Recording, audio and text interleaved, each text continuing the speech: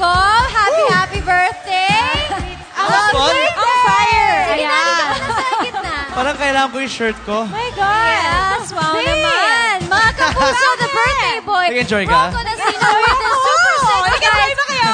Girl, let's just feel sa Kowi. I'm sorry po. With the super sexy guys sa'yo. of Sunny May regalo Osler, ako. Mark, Happy Enzo, and Alden. Happy birthday! Thank you, thank you. Ang sexy naman ang boyfriend mo. Ah! crowd number na yan. I Grabe, swear. ano? Pinaghandaan ko talaga to. Rocco, ano bang birthday wish mo? Alam mo, hindi ko masuot yung jacket ko, so... Sige, mag-spills muna kayo. Suot muna.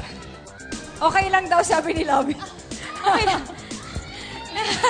okay, may Thank ganun. you, Oh, Art. so, ayun. So, ano mga gusto mong, ah, sino mga gusto mong pasalamatan, Rocco? Of course, God, thank you for all the blessings.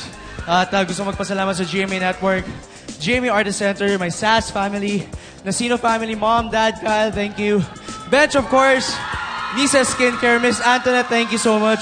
JOC Vans, Elorde Ortigas, Elorde Marcos Highway, at uh, syempre, Rockefellas, Rex Atienza for always styling me. And uh, thank you for everyone for being here. And thank you, Lovey. Ah! Lovey, anong wish mo para kay Rocco? Darling, go! Birthday wish ko kay Rocco ay, um, of course, um, Ano ba? Kiss muna, darling. Kiss muna. Okay. Now your well, wish. birthday wish ko kay Rocco, more blessings because you deserve all the good things in life. Yes. So, Wala na before... akong hihilingin pa. Wow. Bolero ka. Oh, i-blow mo yung candle mo. Yes, yes, yes. Okay.